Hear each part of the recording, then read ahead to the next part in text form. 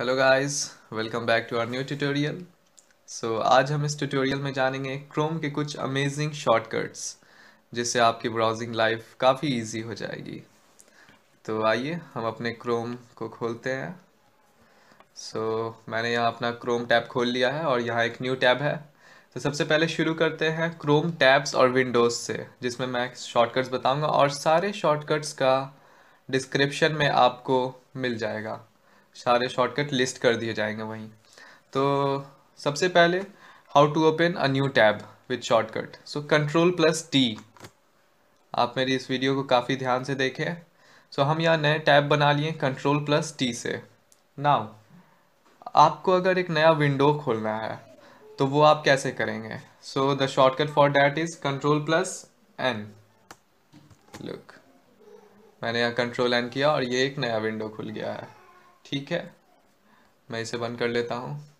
मान लीजिए अगर आपका कोई फ़ाइल है, जैसे मेरा यहाँ कुछ इम्पोर्टेंट फ़ाइल खुला हुआ था, कुछ भी मैं कर रहा हूँ, ठीक है।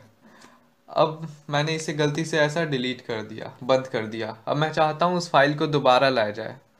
तो हाँ आप बोलेंगे हिस्ट्री में जा कर के करें। मगर मगर मैं यहीं से करना चाहूँगा तो उसका शॉर्टकट है control plus shift plus T ये देखें, हमने जो फ़ाइल खोला था, वो वापस आ गया है। और ये करेंट टैब को क्लोज करने के लिए हम कंट्रोल प्लस डब्ल्यू यूज़ कर सकते हैं। और अब हम लोग बात करेंगे, जैसे पहले एक नया विंडो हम लोग बना लेते हैं कंट्रोल प्लस एन ये एक नया विंडो हम लोगों ने बना लिया। अब इस विंडो को हमें बंद करना है। तो हम उसे control plus shift plus W से इसे बंद कर सकते हैं। घबराइए नहीं, सारे शॉर्टकट्स का लिंक लिंक्स बोल रहा हूँ।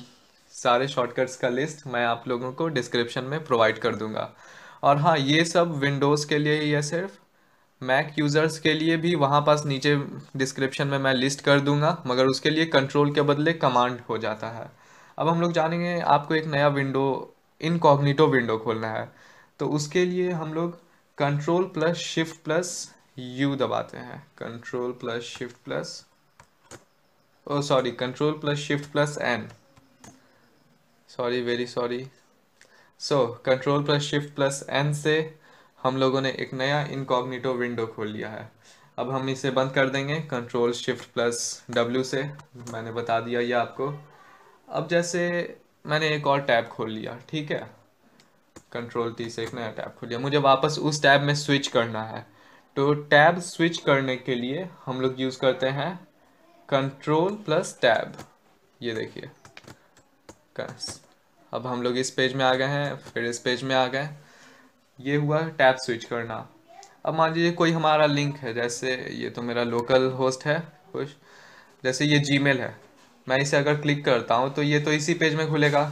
लेकिन मैं चाहता हूँ कि मेरा जो ये जीमेल का जो लिंक है, वो किसी और पेज में खुले मतलब दूसरे पेज में। तो मैं इस लिंक पर आऊँगा और कंट्रोल प्लस राइट क्लिक कर दूँ लेफ़्ट क्लिक देखिए, ये हमारा न्यू पेज में खुल गया। अब मैं चाहता हूँ कि मैं इसी लिंक को एक नए विंडोज़ में खोलूँ अपने, एक नए विंडो में खोलूँ। तो उसके लिए मुझे शिफ्ट प्लस क्लिक करना होगा। ये देखिए, मेरा जीमेल नए विंडो में ही खुल गया है। तो ऐसे हम लोग नया विंडो भी खोल सकते हैं। ओके अब बात कर लेते हैं हम लोग कुछ वेबसाइट्स की। वेबसाइट्स पे जा करके आप लोग शॉर्टकट्स कैसे बना सकते हैं? वेब पेज के शॉर्टकट्स की बात करते हैं हम लोग। तो आते हैं कुछ गिटहब अकाउंट में मैं अपने आता हूँ। ठीक है? अब यहाँ से देखें। ये मेरा गिटहब अकाउंट खुल गया है। ठीक है? अब मुझे वापस अपने पेज में ये ये मुझे लगता है सबको मालूम होगा। मुझे वापस पेज में जाना है तो अल्ट प्लस लेफ़्ट एरो मैं वापस अपने पेज में चला गया। अब मुझे फॉरवर्ड जाना है तो अल्ट प्लस राइट एरो मैं फिर वापस उस पेज में आ गया। हाँ मैक वालों के लिए ये दूसरा होता है। मैक वालों के लिए मैं लिस्ट कर दूँगा, ठीक है? अब मुझे इस पेज को सेव करना है तो कंट्रोल प्लस एस ये आप लोगों को मालूम होगा। कंट्रोल एस से देखिए सेव हो जाएगा ये आपका पेज तो मुझे यहाँ सेव वेव नहीं करना है इस पेज को। अब मान लीजिए मुझे ये पेज प्रिंट अगर करना हुआ तो कंट्रोल प्लस पी अब मुझे इस पेज को रिफ़्रेश करना है। तो कंट्रोल प्लस आर ये तो आपको मालूम होगा। रिफ़्रेश करना। मगर अमेजिंग बात यहाँ पास ये है कि अगर आपको पेज रिफ़्रेश करना है और बिना कैचे डाटा को रिफ़्रेश करते हुए, तब आप control plus shift plus R से कर सकते हैं। अब ये पेज रिफ़्रेश हुआ, लेकिन फिर से कैचे डाटा नहीं हुआ, उससे आपका टाइम बचता है। अब मुझे क्या करना है? जूम अगर करना हुआ जैसे तो कंट्रोल और फिर प्लस ये देखिए कंट्रोल प्लस मैंने कुछ ज़्यादा ही जूम कर दिया। अब मुझे जूम आउट करना है तो कंट्रोल माइनस ये देखिए, वापस अपने ओरिजिनल पेज में ये चला गया। और कुछ और बात, जैसे मुझे इस वेबसाइट में कुछ सर्च करना है कि कौन सा चीज़ कहाँ लिखा है तो कंट्रोल प्लस एफ़ ये फाइंड करने के लिए होता है। देखिए, जैसे मैं सर्च कर रहा हूँ गेट कहाँ पास लिखा हुआ है। तो देखिए, इतने जगह गेट लिखा हुआ है इसमें। तो ऐसे हम लोग किसी भी वेबसाइट को सर्च कर सकते हैं। तो आते हैं एक नया फिर से टैब में। अब हम लोग जानते हैं कि गूगल क्रोम्स के फ़ंक्शंस क्या होते हैं। ये तो थी बात कि आपके वेब पेज के क्या फ़ंक्शंस हैं, उसके क्या शॉर्टकट्स हैं और टैब्स और विंडोज़ का मैंने बताया। लेकिन गूगल के कुछ इंटरनल क्रोम के फ़ंक्शंस होते हैं। जैसे अगर आपको हिस्ट्री खोलना है अपना तो कंट्रोल एच इससे आप अपना हिस्ट्री खोल सकते हो। ठीक है? अब अगर मैक पर अगर आपको हिस्ट्री खोलना हो तो उसको कमांड वाई होता है, वो मैं लिस्ट कर दूँगा। अब आपको डाउनलोड्स अगर खोलना है तो वही कंट्रोल जे हो जाता है। ये आपके डाउनलोड्स खुल गए हैं। अब मान लीजिए, मेरा कोई एक नया पेज है।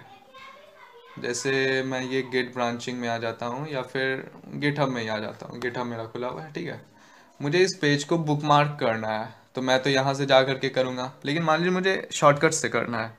तो बुकमार्क करने के लिए कंट्रोल डी होता है।